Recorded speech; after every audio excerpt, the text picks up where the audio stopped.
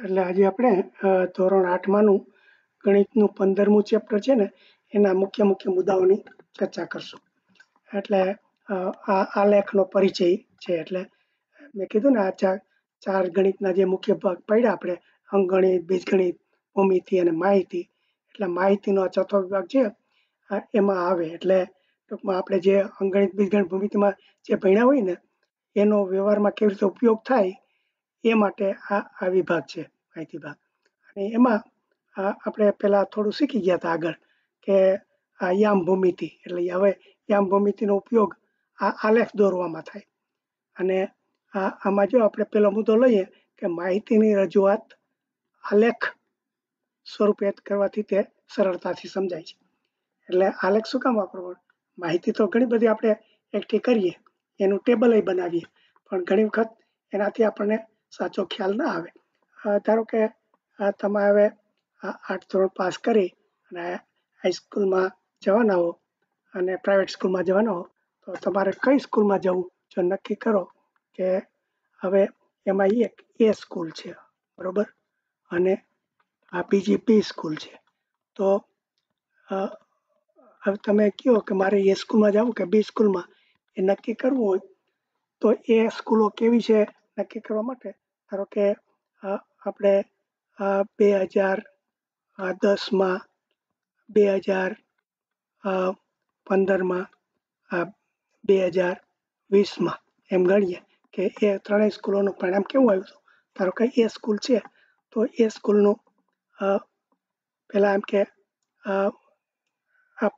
પચાસ ટકા પરિણામ હતું. આપણે અહીંયા કુલનું પરિણામ કેવું છે એ જોઈ, તો અહીંયા સો ટકા અહીંયા શૂન્ય ટકા, અહીંયા પચાસ ટકા, અહીંયા પંચોતેર.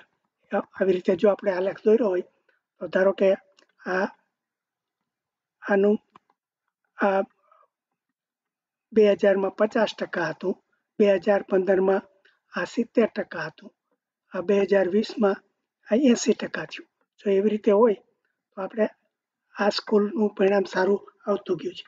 હવે આ આપણે એ સ્કૂલનું કહી બરાબર?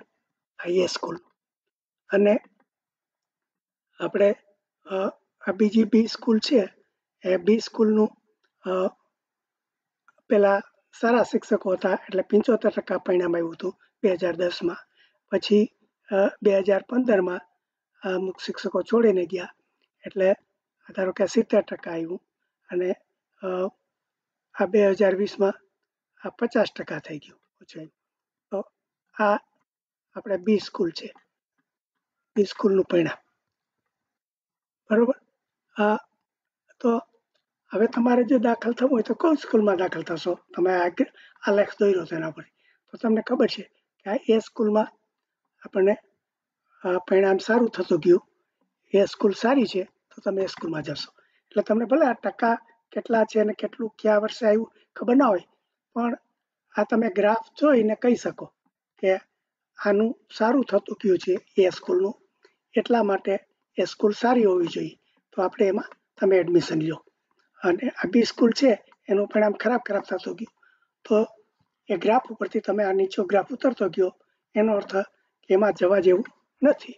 એટલે આમ, આ આપણે તમારો પહેલો મુદ્દો બસ એટલો જ કહે છે કે તમારે આલેખની રજૂઆત માહિતી, એટલે માહિતીઓ કઈ હતી, કે કઈ સ્કૂલનું કેવું પરિણામ આવ્યું, કેટલા ટકા આવ્યું? પણ એને આલેખ સ્વરૂપે આપણે જ્યારે મૂક્યું ત્યારે સરળતાથી સમજાય અને આપણે જે નિર્ણય લેવાનો છે એ લઈ શકીએ. એટલે આ તમારો પહેલો મુદ્દો.